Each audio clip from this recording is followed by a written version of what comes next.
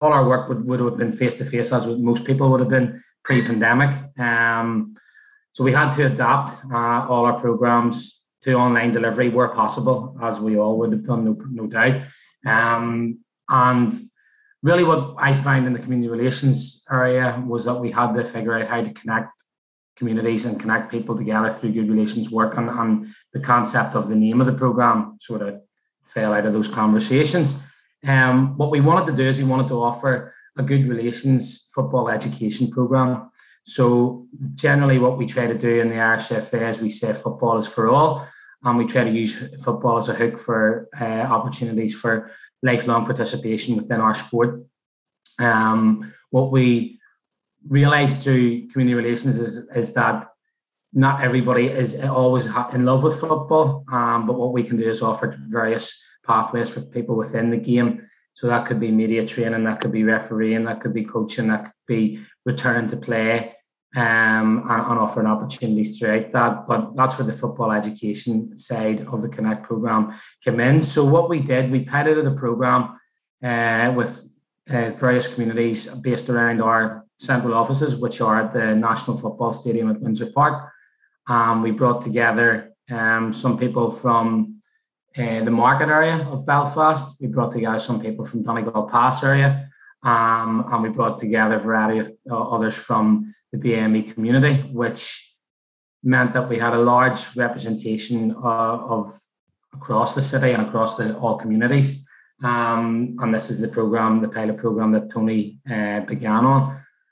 The program ran for eight weeks. Um, it offered a different module each week, as I've already said, ranging from refereeing pathways into coach education, disability training, mental health, anti sectarianism, racism awareness, volunteering, and also finished with a virtual stadium tour of the Windsor Park and the National Football Stadium um, and the Heritage Centre. So, really, we're trying to give us holistic uh, a feel for the work we do on the ground daily pre-pandemic, during uh, pandemic, and on a digital platform um, and we felt it worked really well. The, the group from week one, and, and Tony will highlight this, came together, really got on well. Um, so successfully that we decided to, to continue to work with these guys um, in uh, ambassadorial roles, some of which you'll see both uh, Tony speaking about those opportunities and also in video at the end. Um,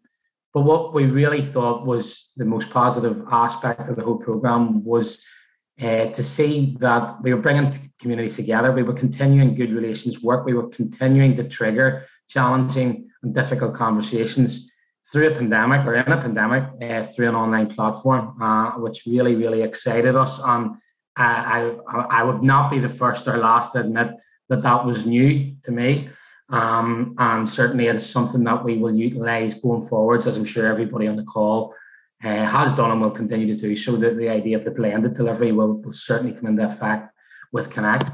Um, as you can see there, it was just about doing something more than, than on the ground work. We were very limited on our on the ground on the ground work. We were out door to door, but that was about it. And our contact with communities, we've built up strong community bases and relationships both around the stadium, as you can see from the photos there.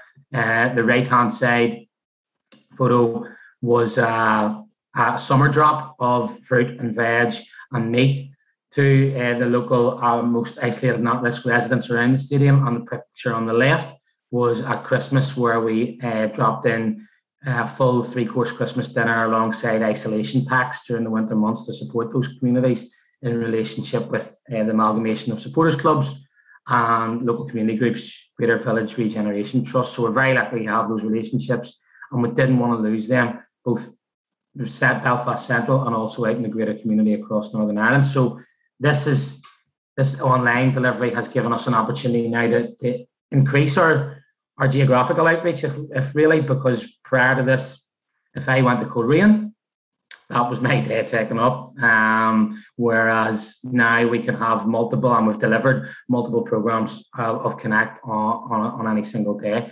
As you can see there, that's just some of the partners we have worked with. Uh, football clubs, Crusaders, Portadown, both ran academy programs. Um, the Portadown program had 43 on it. The Crusaders program nearly double that at 76. Um, and both those programs, those clubs came and reached out to me uh, in reaction to issues that had happened online or in group chats during the pandemic. So we were able to give some education around issues that were happening, even uh, when people weren't together. And we all know the power, negative and positive, of social media. Um, MSCNI uh, are great partner of ours and have, uh, were right there from the very start of the Connect program. Harmony um, was actually a program that reached out through our all female program, um, and that uh, was a, a homeless men's homeless hostel program we reached out to um, and delivered a four week program, pilot program with them. And I'll speak more about the future with them in a moment. Alternatives Restorative Justice have been super and again a partner from the outset with MSCNI um, and PSNI. Um, most importantly, on Andrew George, who's currently the uh, president of the Black Police Association. Um, really, really super uh, partner of ours who has delivered um, multiple programs in support of the racism awareness program um, and will actually be there supporting us in our kickoff at three event this Sunday at Newforge. Uh, and Newforge have been a super partner. Only this week, as part of Good Relations Week last night, we delivered a an everybody's game module uh, in Newforge in their indoor facility. So they're strong partners. Scott Street Youth and Community Centre, uh, we ran a program with those guys, um, which we were super. Um, and then making the future, uh, we linked in with a summer program to which I'll I'll support with a video in a moment. Um, the all female promote program really strong. We opened up applications. We wound up with 36 successful applicants coming on our all female program. What you're seeing there is screenshots of not only the, the participants in the program, but also some of the guest speakers. I think it's really important to highlight that we had female specific guest speakers. So the top right photo, you can see uh, the girl just beside the girl with the pink hair uh, is Suzanne Hamilton, who's a podiatrist, and she spoke specifically on female foot health in football uh, and uh, signposted the words football boots and stuff. Demi Vance at the bottom, female international. Lauren O'Malley, who's now come on board as one of our Connect module deliverers, um, and she uh, is an inspirational lady who I wouldn't even begin to start uh, trying to tell her story. But if anybody would like a quick Google tonight for inspiration, Lauren O'Malley is the way to go. But we had young ladies from the age of 16 right through to retirement age in this program uh, all come together from across Northern Ireland. And the success of that uh, seven week program is that we now perform a monthly program as well. Um, so we really are trying to branch out and hit as many areas of the community, uh, uh, both geographically and across age and gender um, and background as possible. So we feel we've got in a short period of time we've been really successful in our outreach. It's a really good way of getting people to engage with serious issues. So um, we always mix it up a bit, you know, with the likes of having the talks on the first day is one way of engaging them, but we find that sometimes that doesn't stay with the with the participants.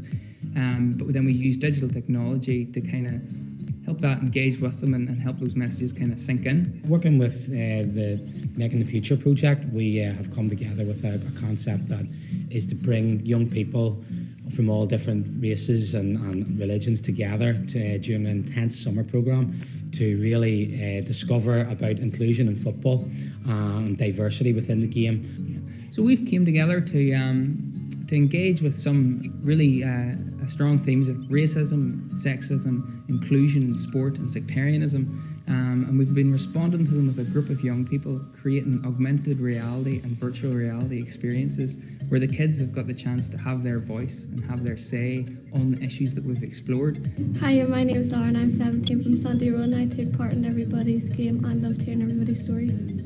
Hi, I'm Larry. I'm 15 years old and I play for a team called MSCNI. It's a very football is a very fun sport and I really enjoy it. I'm playing with other people uh, that I've never seen before. And today, this week, we've learned about filmmaking, how we make templates on canvas, and learning how to use the green screen, green screens app as well. What, what the guys from Making in the Future in there are bringing to, to these young people augmented reality, virtual reality, green screens, digital platforms. It's just, you know, opportunities that not everybody's getting at the minute. Um, and I think coming out of the pandemic, to, offer a summer program where we can invite people in, uh, and it's in this setting, and it's through football, which they all enjoy, but it's adding that the digital platform to it is has really engaged them, um, and, and, it is really exciting for both them and us as, as coordinators. We've had a lot of fun this week. Um, it's been great crack, and the kids have all left with. Uh, lessons that will, will stay with them and, and, last with them. They've all got a free hoodie and a, and a, free Google Cardboard headset too, and we've been getting fed every day. So all around it's been a brilliant experience. Uh, and it's just all about giving young people that platform to get mutual understanding, to learn with each other and from each other, uh, and to really use football as that hook to give people lifelong opportunities and positive pathways together what we also then the success of the first program we have uh, secured some of the guys that come on board as ambassadors for the program um, with the concept that they can not only be representative of Connect program, but also of the Irish FA and the foundation as a whole through a variety of programs. Um, but, but definitely they are Connect ambassadors. They're, they're being trained up in how to deliver our modules and they're going to support Connect delivery. Um, and, and I'm now going to hand you over very quickly to Tony, who can give you a quick overview on that. Right, man. I'd just like to start by saying thanks very much to Chris and all the tireless work that he's done, uh, I suppose, connecting the communities and even making myself part of it. So, um, yeah, guys, my name's Tony Dorian and from South Belfast, and I'm from the market area, which um, I suppose a lot of people would know it's a, a prominent Republican area. And having the opportunity to, to be an ambassador and I suppose all the, all those really really important issues that Chris has already covered off in regards to disability in sport, mental health, especially after coming back off the back of the lockdown. Um, it's the sectarianism and racism, two major factors which I think are in every corner of the world. It's it gives me a real real sense of pride and I suppose really proud to say that I'm an ambassador and the big big idea is, is for a brighter future ahead for our young people and the grassroots level. And I suppose some of the young people that we're seeing in the last video, really amazing to see. And I think that's getting right in and having the integration and uh, I suppose the shared spaces for all the young people is, is definitely something that the Connect program is a real advocate for. And every time I, I sort of took part in course, I went and did didn't actually really think too much of it, was just doing a course and came on to this this sort of Zoom calls, probably like we are now, just finished work and I got to meet people who were living just 200, 300 yards away from the front door. We had so much more in common than, than you can imagine. And from then, we created friendships and some very similar to what the kids have done through the same process, meeting up at the stadium, real, real fantastic um, relationships from that. And the opportunities for myself, uh, again, just again being able to promote the grassroots level and, all the really important factors, but also being part of the Hope United Cup and getting to bring the kids the, the Super Cup, which I think we will all agree was a, a massive factor um, for the entire city and I suppose the country in, in, a whole. And bringing the kids there and seeing some of their faces. And I think I'll, I'll be wrong to say it, my face probably wasn't as bright as theirs. It was an amazing opportunity, but overall the Connect program for myself as a whole is has been a bit of a, a bright bright spark for me and after coming off the back of lockdown, we all have our, day to day jobs, but this is something that gave me, I suppose, that wee bit of conviction and that wee bit between my teeth to go and represent the IFA and also represent my area um, as an ambassador for the market and I suppose uh, the Connect program as a whole. I'm going to just zoom quickly and play one last video, if you don't mind, which will close off. It's from the, the Connect uh, pilot scheme that, that Tony was on. Um, just to say the future, we've got really strong relationships coming forward. We've got a massive program starting with PBNI. We've got BT Sport on board as a as a, a media partner to support uh, their Hope Not Hate campaign with through the Connect program. Um, and we've now got a variety of 10 different modules for any group, whether that be clubs, community groups, schools, anything at all. Anybody wants to get in touch with me around a Connect program, yeah, please do. My details will be available at the end and also through any contact at all. Um, but we've now, we can now develop bespoke programs rather than just a set module of four to six. Uh, we've got over 10 options now. My name's Tony Dorian. I'm from South Belfast, uh, live in the market area. Uh, represent Rialton and Cromorga, which is a Irish Beagle football club in South Belfast. My name is Thomas McCarver, also known as Tucker. I'm from Donegal Pass in South Belfast. I'm Victor Alaquia. I'm 17 years old and I'm originally from Nigeria but I grew up here my whole life. Well, my background is being a Protestant. It's a loyalist area where I'm from in South Belfast, Donegal Pass. Uh, I'm also in a, a loyalist flute band. So growing up, you sort of have a different look on the inside of where you came from. So you always believed in what you believed in. But now going through the course, sort of getting to know new people, and now I become a friend of a fellow who lives probably about 100 yards away from me, from the interface right on my doorstep. I'd have been a different person when I was younger at that interface. But I'd say going through the course, growing up a lot, and coming to the age where I'm coming at now, that the people I, I know from there and from other backgrounds, I'd say, yeah, it gives me a complete different look at them and a complete different look at other people's religion.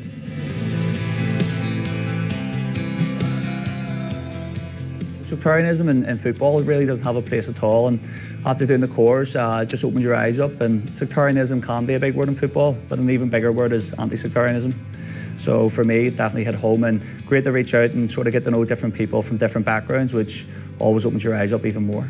Race is the main challenge. Um, of course, as a family who just came from Nigeria, mom and dad challenging for them to settle down, get jobs, like support three kids on their own. It was hard to get used to because coming from Nigeria, everyone's like you, no one's different. So come to a new country, you can tell already you're on the odd one out. I love this country as well. So to hear stuff like go back to your own country like you're not wanted here is it is quite hurtful to hear.